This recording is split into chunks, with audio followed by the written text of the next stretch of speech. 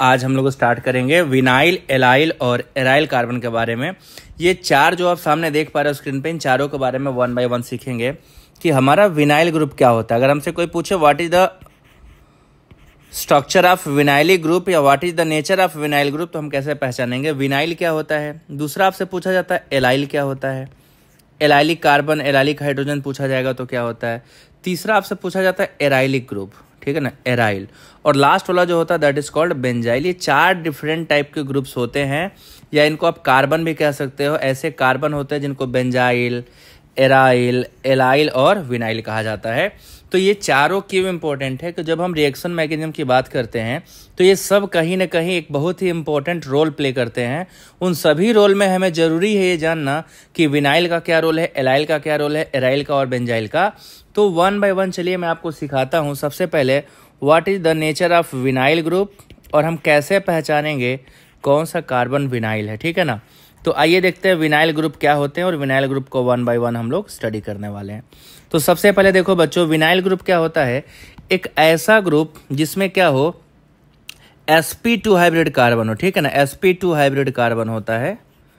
Sp2 hybrid carbon of alkene of alkene basically जो alkene system होता है, वो आपका होता है इथीन का होता है, ठीक है? इथीन में ही होता है। Of ethene having any atom or group will attach having any atom or group directly attach है ना? जिससे क्या होगा? कोई ग्रुप और एटम क्या होता है?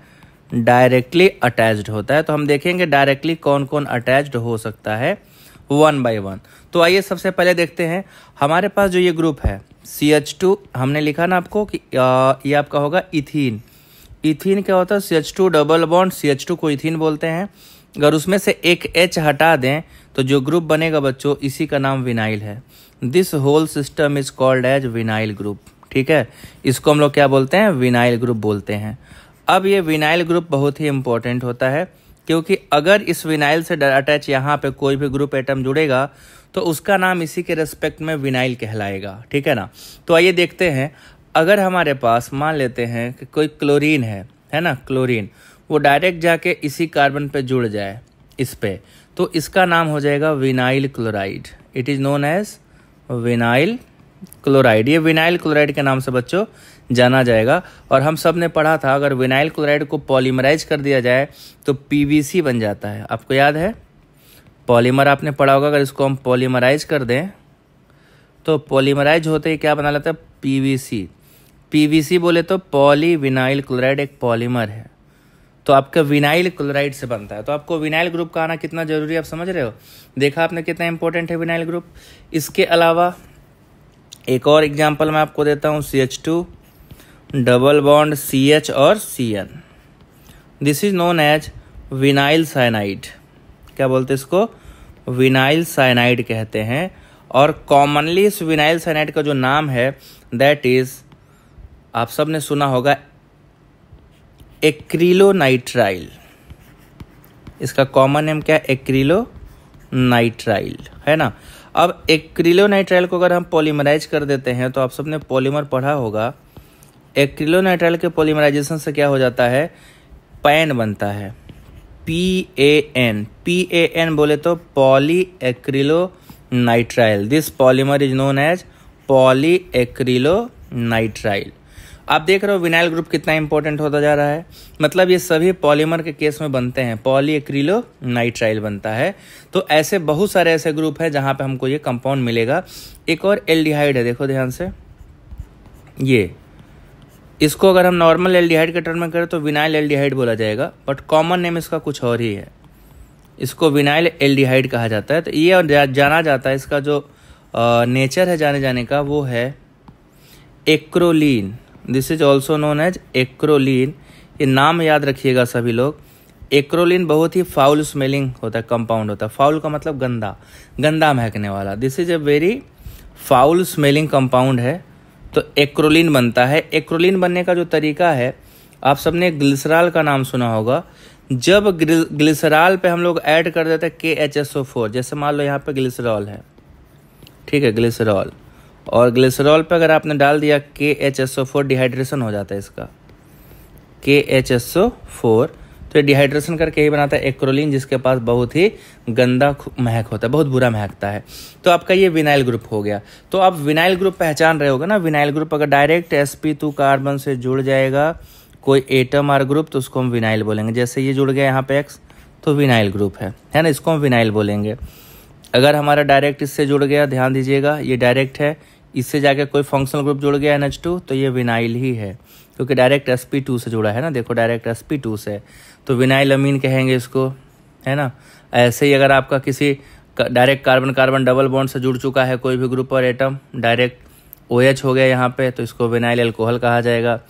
तो विनाइल एल्कोहल का मतलब सीधा सीधा आपको समझ में आना चाहिए कि जब एल्कीन के sp2 कार्बन पे डायरेक्ट जाके कोई अमीन एल्कोहल या हेलाइड जुड़ जाए, ये हेलाइड हो गया ओ OH हो गया then these are known as vinyl group ठीक है ना? विनाइल ग्रुप कहे जाएँगे। अगर अमीन है तो विनाइल अमीन। ठीक है, अमीन होगा तो विनाइल अमीन कहलाता। अगर क्लोराइड होता तो विनाइल क्लोराइड कहलाता। अगर आपका ओ OH है तो विनाइल एल्कोहल कहलाता। तो डिपेंड करता कि कौन सा ग्रुप है। This is called vinyl group अब आपको एक इंपॉर्टेंट नोट बताता हूँ। इस नोट को जरा ध्यान रखिएगा। क्योंकि विनाइल ग्रुप में आपका जो ग्रुप और एटम जुड़ा है, वो डायरेक्ट सी एच टू से अटैच होता है तो कंजुगेशन में रहता है। देखिए, जैसे विनाइल क्लोराइड की बात कर लें। आप एग्ज़ाम्पल समझिएगा। ये सी एच है और ये आपका सी एल है। सी एल के पास कितने लोन पेयर है? तीन। तो तीन पे, लोन पेयर होने की वजह से क्या करता है? कंजुगेशन करता है। और कंजुगेशन होने की वजह से क्या होता है बच्चों? इसमें पार्शियल डबल बॉन्ड कैरेक्टर आ जाता है। It gain a partial double bond character sorry इसको मैं फिर से बनाओ it gain a partial double bond character देखिए कैसे? ये बन जाएगा C H C H two minus ये सी एच और यहाँ पे double bond C L plus ये स्ट्रक्चर बनेगा। अब इस स्ट्रक्चर को क्या करना है? अगर हम इसका रेजोनेंस हाइब्रिड बना दें तो हम सबको पता है, जिसका रेजोनेंस हाइब्रिड बनेगा, वो क्या बनेगा? वो बनेगा C H two C H C L है ना? अब यहाँ पे पूरा का पूरा यहाँ से यहाँ तक पॉजिटिव और नेगेटिव चार्ज क्या होगा? डीलोकलाइज करेगा। तो यहाँ पे आ जाता है partial double bond character partial double bond character तो अगर किसी के पास पार्शियल डबल बॉन्ड आ जाएगा तो बॉन्ड मज़बूत हो जाता है। ठीक है ना? अगर यही अमीन होता तो अमीन भी कंजुगेशन में आ जाता। तो आपको ध्यान ये रखना है कि पार्शियल डबल बॉन्ड करेक्टर जिसमें आएगा, वो बॉन्ड ज़्यादा मज़बूत होता है। तो जिनमें पार्शियल डबल बॉन्ड करेक्टर आया, वो क्या हो जाएँगे? ज़्यादा मज़बूत और जो ज़्यादा मज़बूत होते हैं, उनको तोड़ना क्या है? आसान नहीं होता है। तो मैं आपको नोट में यही लिखवाने वाला हूँ कि जितने भी विनाइल हेलाइड्स हैं they don't undergo nucleophilic substitution by S N one और एस एन टू मैकेनिज्म ठीक है ना? तो vinyl halide vinyl halide does not form product do not form ठीक है? Do not form product via substitution product via substitution ये substitution से product नहीं बनाता है because of because of conjugation between किसके किसके? Between carbon carbon double bond and lone pair of chlorine atom तो कंजुगेशन की वजह से क्या होता है? इन दोनों के बीच में पार्शियल डबल बॉन्ड करेक्टर आ जाता है और जब पार्शियल डबल बॉन्ड करेक्टर आ जाएगा बच्चों तो उसको तोड़ना क्या होता है? डिफ़िकल्ट तोड़ना क्या हो जाता है? डिफ़िकल्ट तो इसी वजह से क्या होगा? यहाँ पे सब्सटीट्यूशन नहीं होगा। ये बहुत ही आसानी से आपको समझ में आ जाना चाहिए। ऐसे दूसरा यहाँ पे पॉइंट हमारे पास फिर एक आता है। कि विनाइल अमीन बहुत कम बेसिक होते हैं, ठीक है ना? Vinyl amines are less basic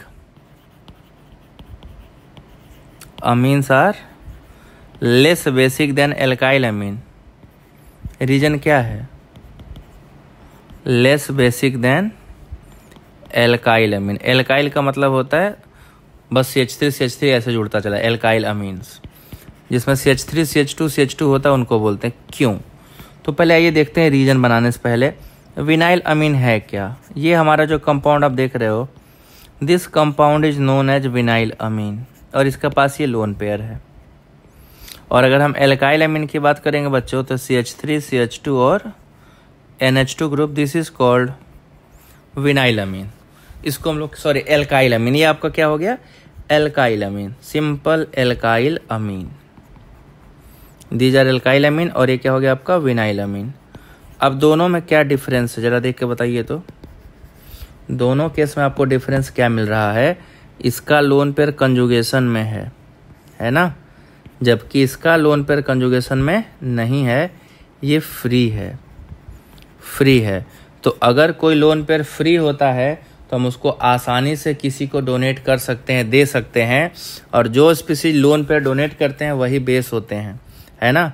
तो अमीन्स क्या होते हैं? लोन पेयर डोनर होते हैं। Amines are lone pair donor lone pair donor तो हम सबको पता है कि जो लोन पे डोनेट करेगा, वो अच्छा बेस होगा। जो नहीं करेगा, वो ख़राब बेस तो जिसके पास देने के लिए अवेलेबल है, वो अच्छा बेस जिसके पास नहीं है, वो ख़राब बेस तो ये आपका क्या हो जाएगा? गुड ये अच्छा बेस होगा क्योंकि आसानी से डोनेट कर पाएगा और ये बुरा हो जाएगा बैड क्यों हो जाएगा बैड या पुअर बेसिक क्योंकि इसका लोन पर किसी को देने के लिए अवेलेबल नहीं है या अपना इंटरनली कंजुगेशन कर ले रहा है, जिसकी वजह से इसको दिक्कत होगा डोनेट नहीं कर पाएगा। तो ये कहानी थी, अभी आपने देखा विनाइल ग्रुप की। Now we will move towards the allyl aryl group vinyl के साथ साथ एराइल भी देख लेते हैं, उसका भी सेम है। एराइल ग्रुप बस डिफरेंस क्या है कि एराइल ग्रुप में कोई भी ग्रुप और एटम सीधे बेंजीन पे जुड़ता है, जो कि sp2 हाइब्रिड होता है। ऊपर भी sp2 ही था बट वो बेंजीन नहीं था, ठीक है ना? वेन एनी ग्रुप और एटम वेन एनी ग्रुप और atom one minute any group और atom directly attach to benzene ring सीधा अटैच हो जाना चाहिए directly attach with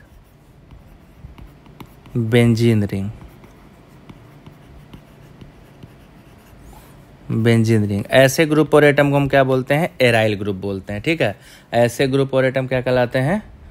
aryl group कहलाते हैं। तो ठीक है, देखते हैं।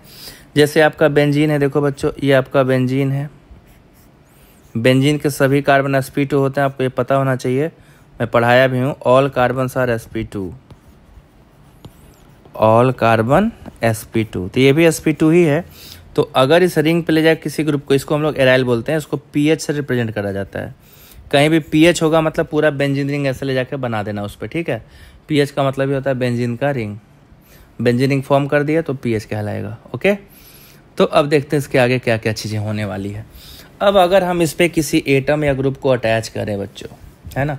किसी एटम या ग्रुप को तो कहलाएगा क्या? वेंजाइली कहलाएगा। सॉरी एराइलिक कहलाएगा suppose that this is called C L this is called aryl chloride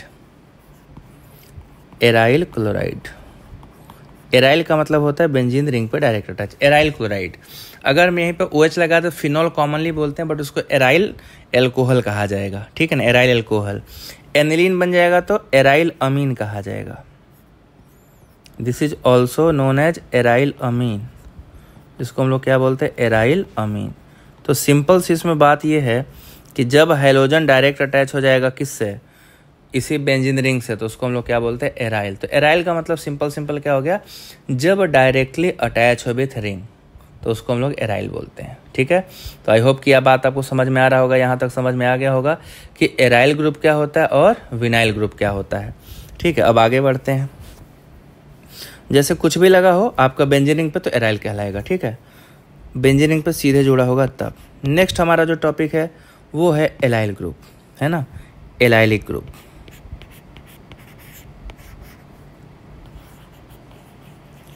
अब देखना है कि एलाइलिक ग्रुप क्या होते हैं, ठीक है?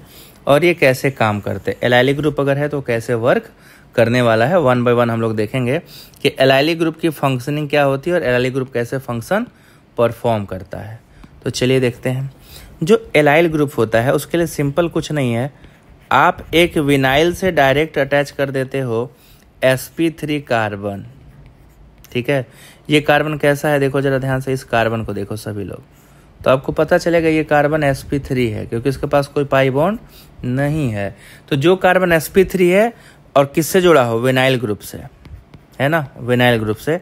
तो एक ऐसा कार्बन जो विनाइल से डायरेक्टली जुड़ा हो और sp3 हो, ऐसे कार्बन को हम लोग क्या बोलते हैं? Allylic carbon. Allylic carbon. और अगर एलाइलिक कार्बन पे कोई ग्रुप और एटम अटैच हुआ बच्चों तो उसको हम लोग क्या नाम देंगे? उसको एलाइलिक ग्रुप फ़ंक्शन ग्रुप भी कहा जाएगा। फॉर एग्ज़ाम्पल देखिए एग्ज़ाम्पल के तौर पे जैसे ये हो गया C H two double one C H C H two O H O H होता तो विनाइल एल्कोहल बोलते एन एच टू होता तो विनाइल अमीन बोलते, और सी एल होता तो विनाइल क्लोराइड बोलते। हैं वन बाय वन ऐसे ही बोला जाता है। ये एल्कोहल हो जाता है विनाइल एल्कोहल ये विनाइल अमीन होता सॉरी एलाइल यहाँ से यहाँ तक ग्रुप को क्या बोला जाएगा? अब allyl allyl alcohol allyl amine और एलाइल क्लोराइड कहलाता। तो ये डिपेंड करता है कि इस एसपी थ्री कार्बन पे कौन जोड़ा। तो ध्यान आपको क्या रखना है? कि इस एलाइल ग्रुप के साथ जो है एसपी थ्री कार्बन, वो सीधे विनाइल ग्रुप पे अटैच होता है। मतलब जो भी ग्रुप और एटम होंगे, वो sp3 कार्बन पर अटैच होंगे, ना कि sp2 पे। क्योंकि sp2 पे अटैच होंगे तो हम सबको पता है, फिर पुराना वाला हो जाएगा। और पुराना वाला क्या था? विनाइल था। तो विनाइल तो हमें बनाना नहीं है, हमको तो बनाना एराइल है। सॉरी, एलाइल है तो एलाइल तो हमारा बन रहा है। देखिए, एलाइल बन गया कि नहीं बन गया? आसान है। अब चलिए क्वेश्चन करते हैं। आपके लिए क्वेश्चन ये है आप बताइए कौन सा है? ये इसमें कितने विनाइलिक एलाइलिक कार्बन है? How many allylic carbon are there तो आप देखोगे कि sp2 कार्बन ये है और sp2 कार्बन ये है। इससे सीधा अटैच कार्बन देखो, ये वाला है और नीचे वाला है। तो यहाँ पर टोटल एलाइली कार्बन की संख्या दो है। टोटल एलाइली कार्बन कितने हैं? दो। तो ये पहचानना पड़ेगा। नेक्स्ट देखिए, एक और स्ट्रक्चर में बना रहा हूँ। आपको इसमें बताना ये है how many allylic groups carbon are there इसमें कितने एलाइलिक कार्बन प्रेजेंट है? बस इतना बताना है। Number of allylic carbon present in the given molecule तो आप सभी लोग जरा इसमें ट्राई करिए। तो आप सबसे पहले एस को लेबल करो। ये एस ये एस है ना?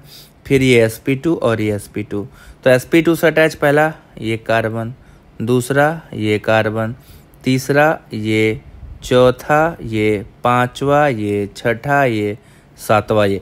हम सबको इसलिए लिए हैं क्योंकि एस से डायरेक्ट अटैच है। देखो, ये देखें डायरेक्ट अटैच ये देखा जाए डायरेक्ट अटैच ये देखा जाए डायरेक्ट अटैच ये दोनों देखो डायरेक्ट अटैच और ये भी डायरेक्ट अटैच है, ये वाला एक डायरेक्ट अटैच ये नहीं है।